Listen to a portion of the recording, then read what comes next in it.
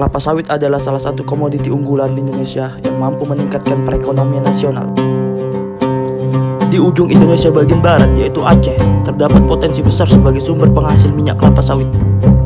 Provinsi Aceh merupakan salah satu daerah penghasil kelapa sawit yang letaknya strategis sebagai alternatif baru jalur ekspor minyak kelapa sawit Indonesia.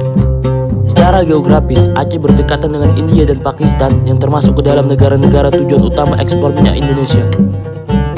Dikutip dari serambinews.com, luas areal kebun kelapa sawit di Provinsi Aceh mencapai 540 ribu hektar. 52 persennya merupakan kebun kelapa sawit rakyat, yang di mana angka tersebut relatif tinggi dibandingkan provinsi lain di Indonesia.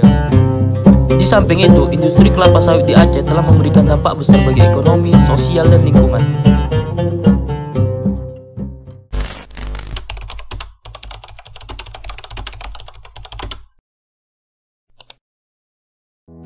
Kontribusi industri sawit Aceh bagi ekonomi yaitu menjadi sumber pendapatan masyarakat. Banyaknya lapangan pekerjaan pada industri sawit akan menjadi sumber pendapatan masyarakat sehingga dapat memenuhi kebutuhan hidup mereka dan meningkatkan perekonomian daerah. Adanya jalinan kemitraan UKMK sawit untuk pemuda Aceh membawa perubahan dan pembangunan daerah serta menjadi pilot proyek untuk diimplementasikan di daerah lain.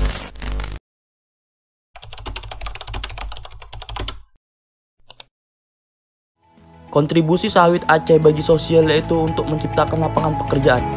Banyaknya industri sawit di Aceh dapat menjadi peluang kerja bagi masyarakat sekitar sehingga mampu mengurangi tingkat pengangguran di Aceh dan juga untuk meningkatkan partisipasi kerja. Dengan adanya industri sawit mampu meningkatkan partisipasi kerja melalui penyerapan tenaga kerja bagi masyarakat sekitar.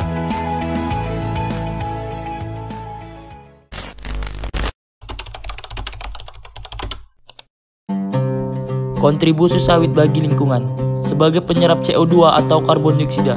Setiap hektar kebun kelapa sawit secara neto mampu menyerap sekitar 64,5 ton CO2 per tahun dan menghasilkan oksigen sekitar 18,7 ton. Selanjutnya sebagai pemanenan energi surya. Dalam peran dan kinerja pemanenan energi, sawit memiliki efisiensi konversi energi radiasi sebesar 1,7 G per mJ dan sawit juga unggul dalam aspek efisiensi fotosintesis, konversi energi instrumental, biomasa, dan produktivitas lahan kering. Dan yang terakhir berperan dalam fungsi tata air. Perkebunan kelapa sawit memiliki peran yang sama dalam fungsi konservasi dan hidrologis. Perkebunan kelapa sawit memiliki siklus produksi sekitar 25 tahun, berarti fungsi konservasi dan hidrologis tersebut setidaknya berlangsung hingga 25 tahun.